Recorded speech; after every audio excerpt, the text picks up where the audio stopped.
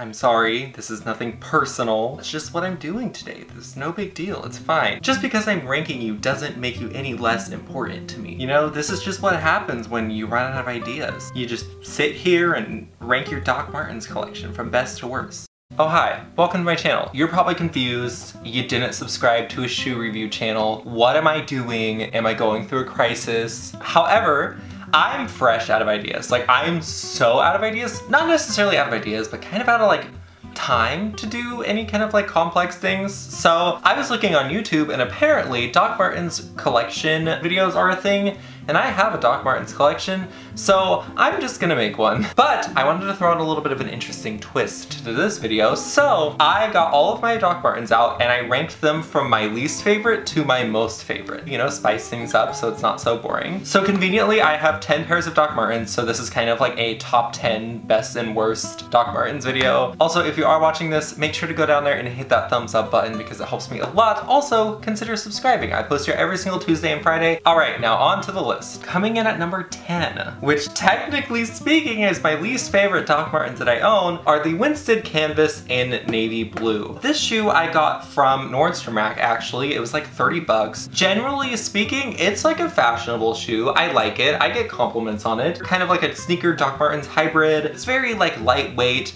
um, but also gives you some additional ankle support. It's very nice. And however, this shoe is so uncomfortable. Oh my God. I, the most I've been able to wear the shoe is for like an hour and 45 minutes and I had to run back to my car and take it off and drive home like barefoot because it just was so uncomfortable. Like it hurt my foot so bad. I've never worn a pair of Doc Martens that are as uncomfortable as these. I don't feel bad about saying that because I don't even think they make like this particular one anymore. I don't know if this is because I still need to break them in more. If this is an issue of breaking in the shoe, then I'm literally never gonna break it in because it just hurts that bad. this next one, this next one hurts my heart to put down here. However, this is the 1891. This is my only pair of platform Doc Martens. And overall, like generally speaking, this shoe serves. This shoe gives you looks, okay? This shoe, when pulled off right, looks so good. With all this added sole, comes a lot of extra weight. Like this is a heavy shoe. This shoe has some girth to it. So with that heavy weight, it almost feels like I'm wearing like the iron boots in like Zelda. I move at such a glacial pace when I wear these shoes and it's annoying because I am a speed walker and so when I'm just like moving at everybody else's like normal tempo pace, it's not fun. It's not a joyous experience. For Instagram looks, things like that, this shoe comes in hard. This is a statement piece. I love this shoe so much. It's just down on the list because it's not very practical for everyday use. I also, when I wear these, I become like 6'5", which is absolutely incredible. I love towering over everybody. This next one is actually another pair of Doc Martens that I got from Nordstrom Rack, and this is coming in at number eight. This is the, uh,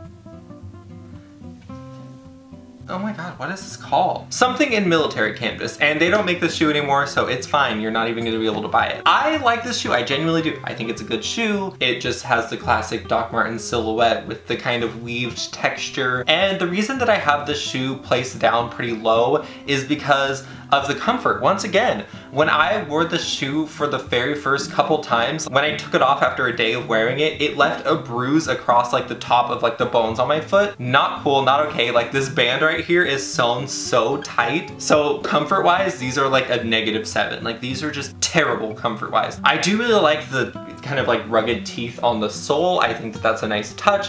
And overall, I like the look of this shoe and it hits hard when it goes perfect with an outfit. Like also the laces, hate them. I said that in a previous video, I hate these laces, but I keep forgetting to change them. If they were black, they would honestly just look so much better.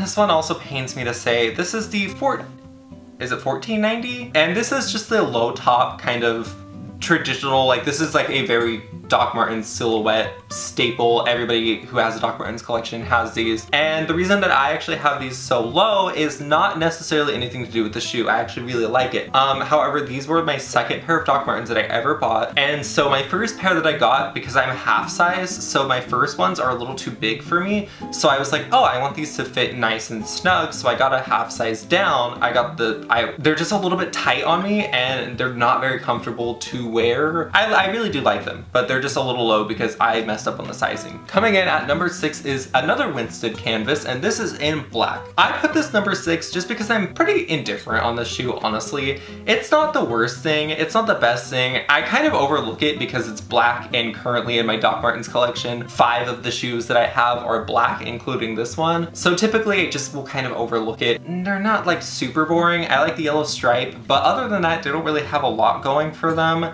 and they don't give you the added like height bonus that Doc Martens do, so, but they're fine. I do like these and these are good, probably more for the summer months. All right, moving on to number five, six, five, whatever. It is the Doc Martens Tate Richard Dadd collection, and this is, this one, I actually really like it. I love the history of the art behind it. I actually was able to find this. Here's a little mini art lesson of the day. He was actually institutionalized in an insane asylum, and you know, he and he painted this painting, and still to this day, not a lot of people actually know what it means, and there are several interpretations of it. That's the painting that's on the shoe. It's arguably one of his most famous paintings. It's very intricate. You can see different people and flowers and just all kinds of like really cool things. The reason that this is put at number five is because people think that this is camo. So many times when I have worn this shoe, people have come up to me, total strangers, and been like, where are your shoes at? Like, you know, making that joke.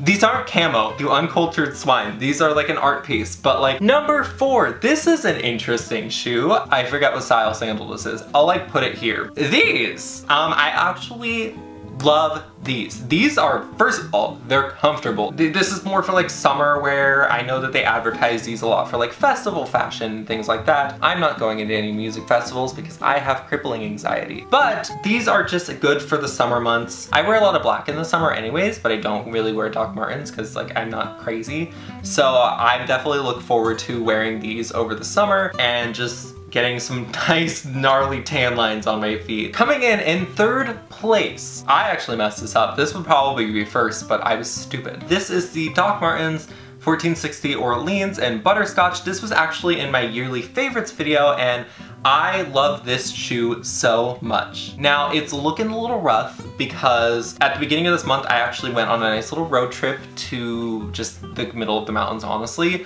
and I was taking pictures, I was walking, there was this little stream, and so I wanted to get some pictures of these in the stream, and they were long exposure shots, and so I got these very wet, and unlike the black Doc Martens, which I have worn in water before, um, these did not dry in a totally the same way as they were before, so there is a little bit of water wear on the sides. You can't really tell. I just love these shoes. I wear these a lot. They like, these go with everything. All right, coming in at number two, this is the Tate collaboration William Turner, I think that's the name. This was the previous one to the Richard Dadd collection, which, which was previous in this list. And the reason that this one is ranked higher than the other one is because just look at that. That is just absolutely gorgeous. Like that is art right there. I've worn these quite a bit so that the actual, like the paint that they use has begun to chip off and that's actually normal and it's intentional because everybody kind of wears off in a different way so each one ends up becoming kind of unique. But oh my god, when I wear these, I get so many compliments.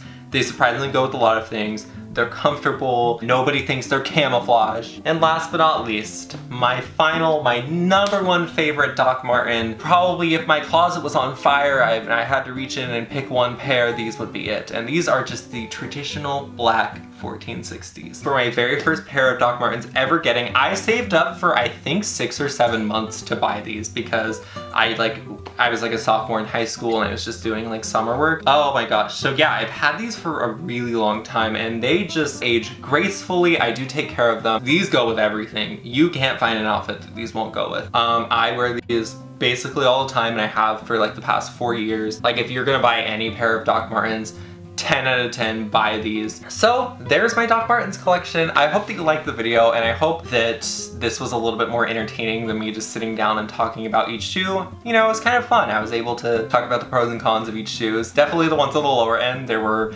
a little bit more cons, but again, I love those just as equally as my other ones, except I just ranked them. But you, you get the point, you know? I appreciate them. They're great additions to my collection. There are just some things that are wrong with them. That is all for my video today. Thank you so much for watching if you did make it this far. Tuesday we will resume back to normal programming when I think of some ideas. But if you did like this video, make sure to go down there and hit that like button and also consider subscribing. Again, I post here every single Tuesday and Friday, so it would mean a lot if you would come back. Other than that, thank you so much for watching. I'm gonna go now. Bye!